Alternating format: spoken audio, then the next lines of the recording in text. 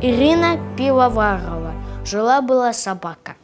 Жила-была собака. Она была большая. И был у той собаки огромный рыжий хвост. И вот когда собака бежала по дороге, за нее пыль вставала почти до самых звезд. И были у собаки огромнейшие зубы. И лаяла собака, как миллион собак – когда она дышала, с домов слетали крыши, и все деревья гнулись. И это было так. Жила-была собака, но только ты не бойся. Она была послушной и доброй была. Меня она любила и в гости приходила. И ела хлеб с вареньем и сладкий чай пила. И добрая собака со мной гулять ходила – и ласково крутила своим большим хвостом.